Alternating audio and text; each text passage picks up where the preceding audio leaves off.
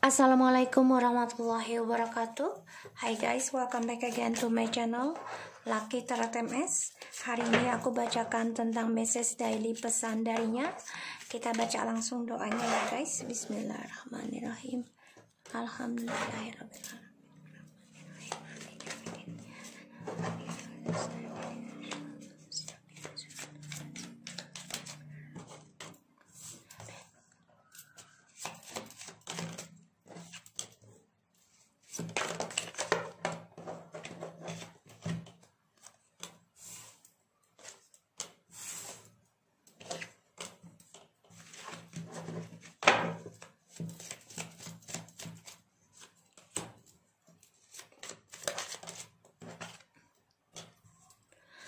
Okay. Bottom of the deck. They still yeah, deleting my number, please. Keras kepala. I have regret so much with this all my decision, but now I'm stuck. Makanya dia minta hapus nomor gue karena ya dia nggak bisa berbuat apa-apa situasinya dan dia stuck, merasa terkontrol dan tidak bisa maju dan mundur. Oke, kita lihat. You are always right usually. Karmic have other person behind me. I so stupid and idiot to trust them. Now my life is running for nothing. I hate karmic. Only you have the key to my heart. Even if you have a new partner and kids from them, inside my heart I will always love you because you are the sole partner I letting go. I do miss you so badly. I remember all those caring things you did to me. I really miss those. Only a karma can give me to learn to listen, live, and the, the bad things from my part. I remember when I met you first. I just not ready yet. Alright. So, aku lihat di sini dia ada pembayaran karma terus ya. Dan dia menyesal dengan pilihannya dia tapi dia nggak bisa berbuat apa-apa saat ini. Dan dia merindukan kamu sangat-sangat sangat buruk. Dia benci dengan karmiknya dan dia coba mengingat pertama kali ketemu kamu. Ya jadi dia coba mengingat semua kenangan memori dengan kamu. Karena saat ini orang ketiganya mempunyai orang lain lagi. Dan aku lihat di sini juga dia merasa bodoh dan idiot karena dia percaya dengan orang ketiga atau orang-orang sekelilingnya dia sehingga masa depannya sekarang berantakan ya. Dan dia merasa kamulah yang memegang kunci hati dia. Only you have the key to my heart. Dan dia tahu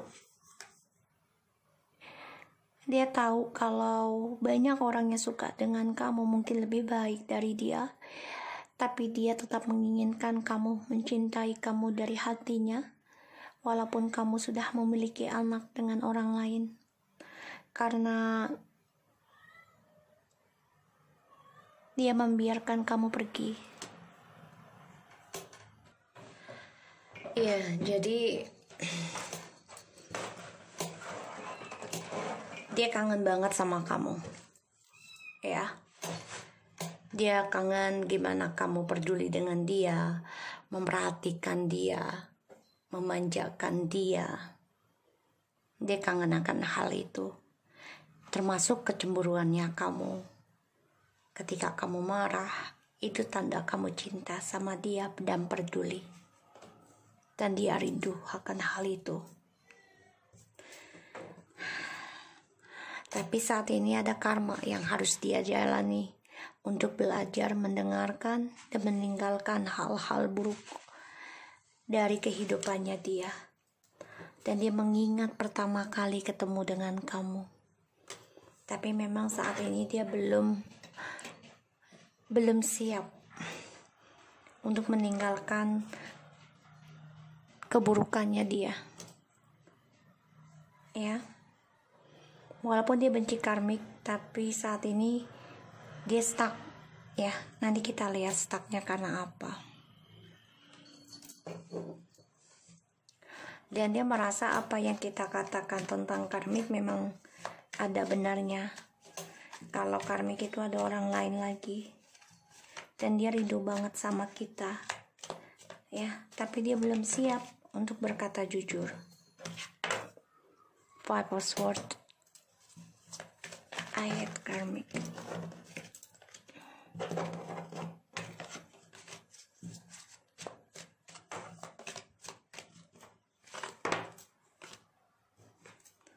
Four Cups.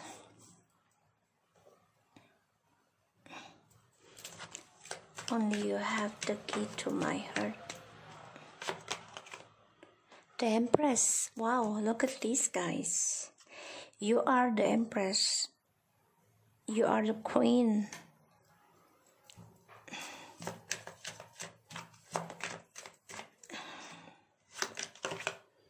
The Temperance. I do miss you so badly. The dead.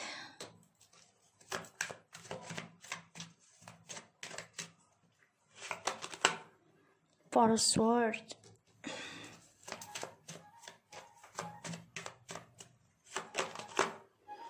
Page of Wands.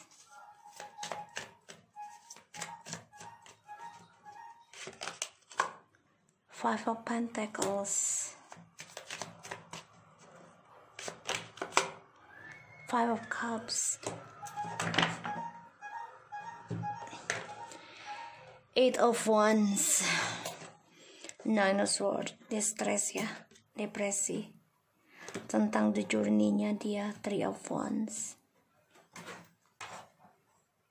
Swords. Karena dia memantau kamu. Dan dia belajar tentang perjalanan hidupnya dia yang penuh dengan ketakutan, penuh dengan merasa bersalah, terutama dalam communication sama kamu. Di sini dia banyak sekali ketidakbahagiaan ya, terutama dalam progres kehidupan suksesnya dia, terutama percintaan di sini. Dia banyak dihantui tentang perjalanan cinta. Dia memantau kamu. Page of Sword. Oke, okay, so aku lihat di sini ada you are always right usually karmic have other persons behind me. Karena dia mengabaikan kamu ya, Five of Sword. Kamu sudah coba untuk jelaskan, tapi kamu diabaikan dan dia meninggalkan kamu begitu aja. Sekarang apa yang dia pertahankan, apa yang dia inginkan eh dengan egonya, dia tidak dapat apa-apa, semuanya sia-sia. I hate karmic. Ya, karena karmic ada orang lain dan dia diabaikan. Ya, karmic ada orang lain dan dia coba untuk berpikir tentang penyesalannya dia kehilangan kebahagiaannya ini dengan kamu.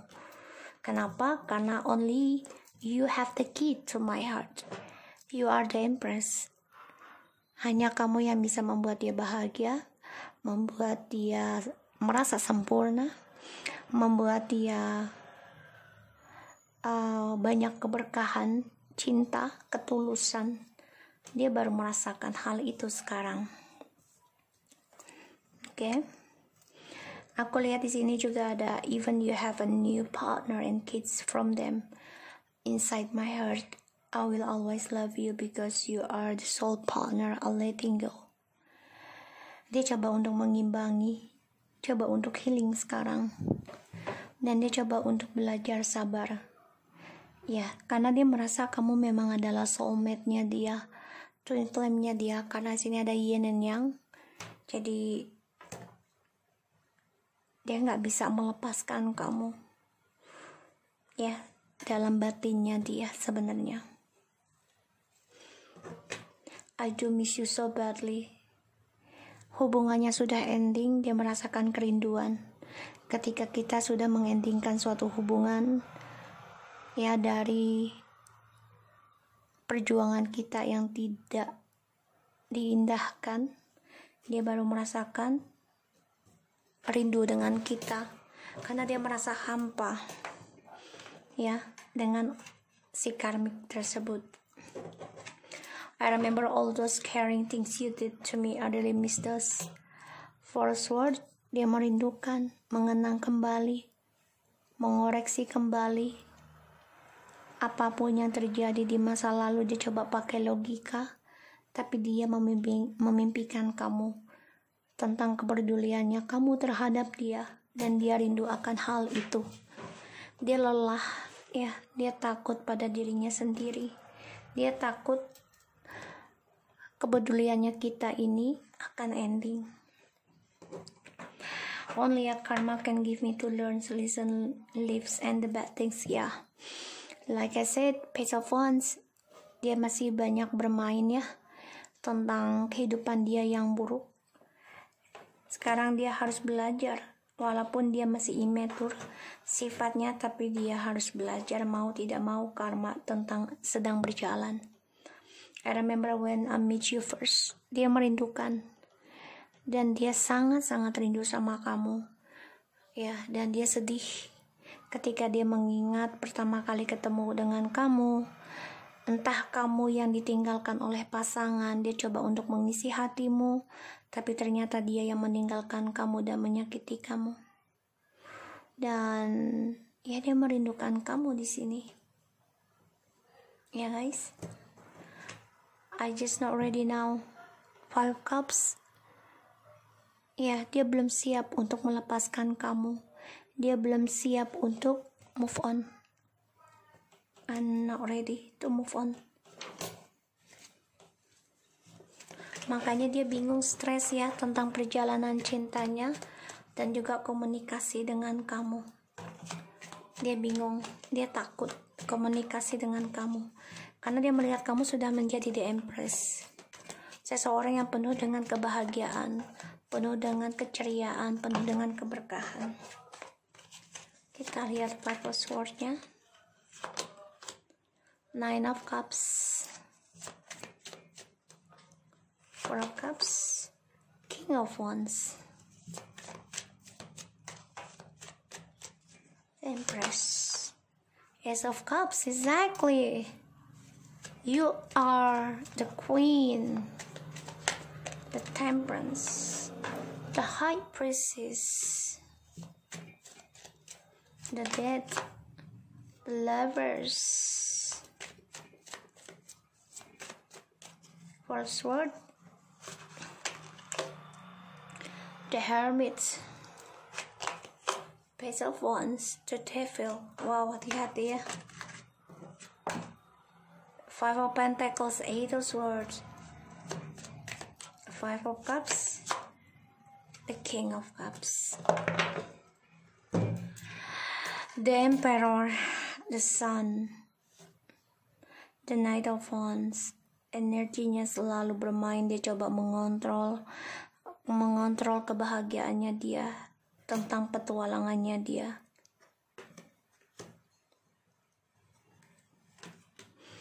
Ya, dia selalu berpetualang. Ya, dia ingin kembali sama kamu yang sudah sukses, sudah mampu menghasilkan suatu komitmen, entah itu keuangan kamu sudah membaik, lebih baik dari dia. Dia coba untuk datang ke kamu ataupun memberi kabar ya. Tapi aku lihat di sini dia melalui alam bawah sadar terus ya karena 5T perjalanan twin flame 5T mencari jati diri dalam spiritualnya masing-masing the nine of cups the king of wands ace of cups.